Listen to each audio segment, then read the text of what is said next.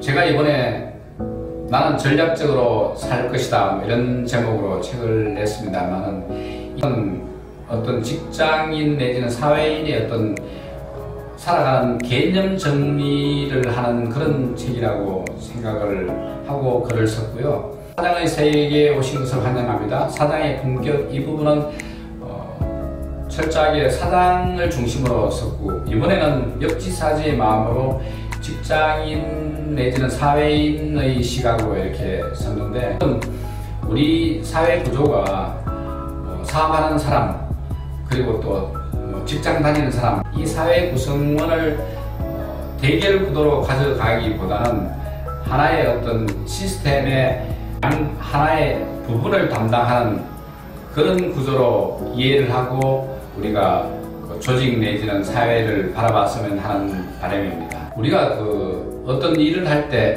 특히 이제 그 성공한 사람들의 특징이 선택과 집중을 해서 아주 몰입하는 경향이 있거든요. 그래서 자기 욕망을 주체를 못하고 성공, 성공 가도를 달릴 때는 실패할 가능성도 전혀 생각하지도 않고 그게 몰입하다 보니까 절제가 상당히 힘듭니다. 아우토반을 달리는 어떤 그 시속 200km 자동차가 있다면 브레이크 기능도 강해야만 훌륭한 자동차가 되거든요. 그래서 그것과 마찬가지로 그냥 힘만 강조하고 욱하는 기질을 이렇게 참지 못한다면 감옥을 가야 되겠죠. 사고를 치는 바람에. 그래서 성공 내지는 어떤 바람직한 행복을 바라는 어떤 그런 사람이라면 자기 어떤 힘을 절제할 수 있는 능력이 필수적으로 필요하다고 저는 그렇게 생각하기 때문에 욕망과 어떤 절제의 균형이 반드시 필요하다고 저는 그렇게.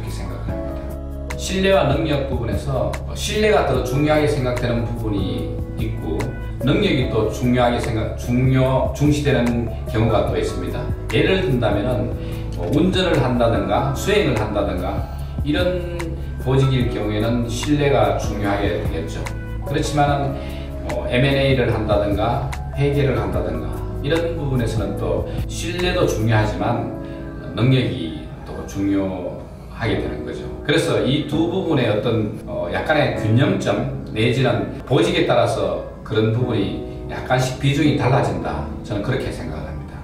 친구끼리도 동업하면 안 된다 이런 얘기를 많이 합니다. 그렇지만 옛 시절에는 정보가 이렇게 많지 않았기 때문에 어떤 정보를 취하면 단독으로 성공을 충분하게 할 수 있었던 시대가 있었습니다. 그렇지만 지금은 여러 가지 정보가 보편적으로 많이 깔려 있고 하나의 전문 분야도 각각 그 전문 분야를 달성하려면 상당히 힘들, 힘든 그런 세상입니다. 그러다 보니까 협동을 하지 않고 다른 사람하고 같이 동업을 하지 않으면 목표 달성하는데 시간도 많이 걸리고 그 다음에 그 영역도 많이 확보할 수가 없습니다. 그래서 저는 시간도 단축하고 빠른 시간 그러니까 빠른 시간 내에 성공하고 그리고 또 부의 크기도 어, 크게 이렇게 달성하려면 반드시 동업을 해야 된다고 생각합니다. 물론 동업 조건이 여러 가지가 있지만 어쨌든 간에 동업하지 않으면 크게 성공할 수 없다. 그리고 빨리 성공하기 힘들다. 그걸 강조하고 싶습니다. 저도 사실 여러 개 직업 그리고 약 한 40년 가까이 사회생활 하면서 지금에서 이렇게 느끼는 건 뭐냐면 흔히들 요즘은 취업난이 이렇게 심화되다 보니까 돈벌이 내지는 취직하는 데만 열중하다 보니까 막상 자기가 하고 싶은 일, 내가 정말 잘하는 일, 그리고 앞으로 평생 동안 뭘 하고 지낼 건지에 대해서 생각을 별로 안 하는 것 같아요. 그래서 제가 만약에 사회초년생 여러분들에게 말씀드리고 싶은 것은 그 직업에 대한 어떤 개념 내지는 처음과 끝이 어떤 건지, 그 다음에 한계가 어떤 건지, 왜 이 직업을 택해야 하는 건지, 이런 부분을 좀 생각을 하고 접근하면 조금 더 인생에서 후회하지 않는 어떤 직장 생활이 되지 않을까 그렇게 생각을 해봅니다.